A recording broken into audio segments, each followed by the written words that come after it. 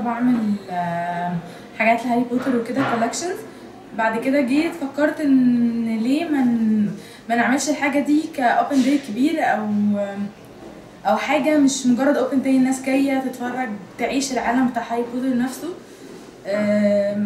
أنا واحدة من الناس أمنية حياتي مثلا إن أنا أروح آه، اللي هي المدينة اللي شبه هوجورتس والكلام ده كله بس دلوقتي السفر بقى صعب وكل حاجة بقت صعبة. فكرة حتى إن انت إن أنت تقدري تجيبي products من بره من ال stores بتاعت هاري بوتر وكده بقت في منتهى الصعوبه الأسعار عظيمة جدا.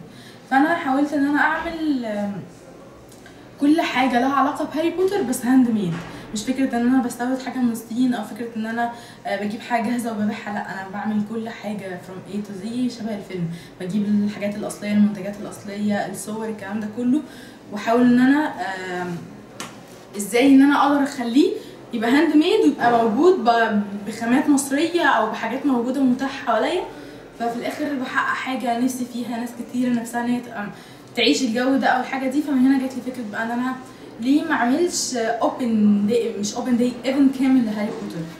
ال event كان فيه كل حاجة لها علاقة بال بال- بالمكان. هوجورتس حتى حاولت إن أنا المزيكا تبقى دايما شغالة هي الفيلم.